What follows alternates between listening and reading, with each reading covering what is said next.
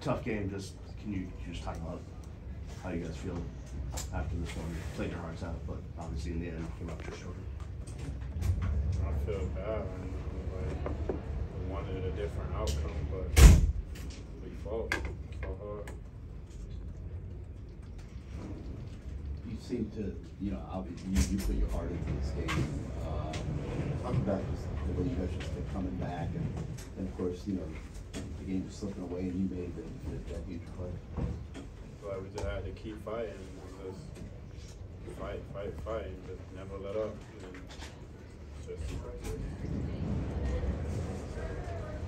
How, how, uh, how upset are all you guys, you know, with the Emory situation? You know, what were you told and, you know, just your thoughts?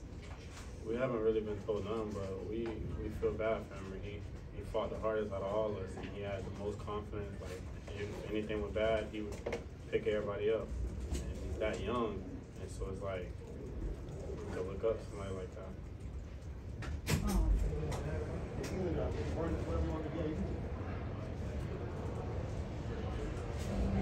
Can you take us through the the touchdown catch towards the end? Uh, you made a great play over two defenders. Just take us through that play and what you saw.